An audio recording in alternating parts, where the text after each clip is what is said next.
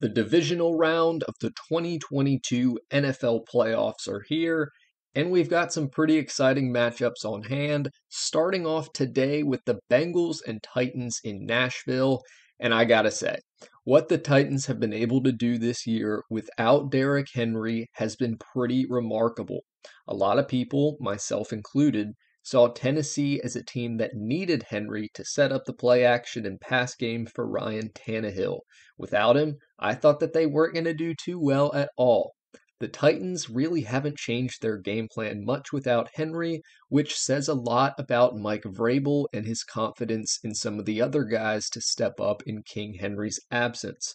Between Vrabel and Bengals head coach Zac Taylor, you're looking at the coach of the year on one of these sidelines, as Taylor has led Cincinnati to its first playoff win in 31 years. Yes, Bengals fans, you can finally text about winning a playoff game.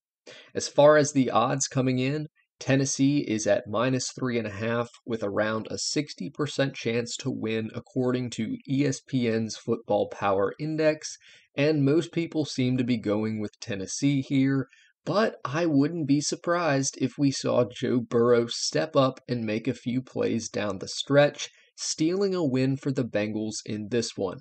He wasn't at his best last week against the Raiders, but he has been red hot down the stretch here. Tennessee sat last week. We'll see if they come out of the gates a little bit flat.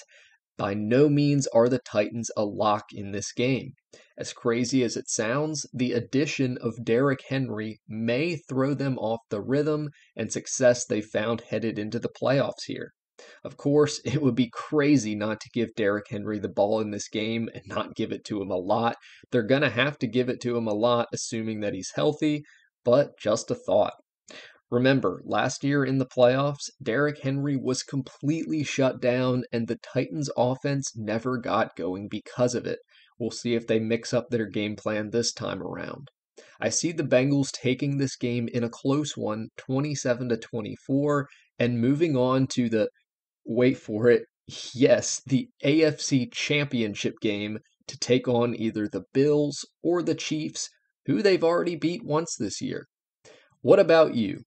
Who do you have winning this one? What is your score prediction? Let me know down in the comments. If you enjoyed this video, be sure to smash that thumbs up button and subscribe if you have yet to do so for the latest NFL news and predictions.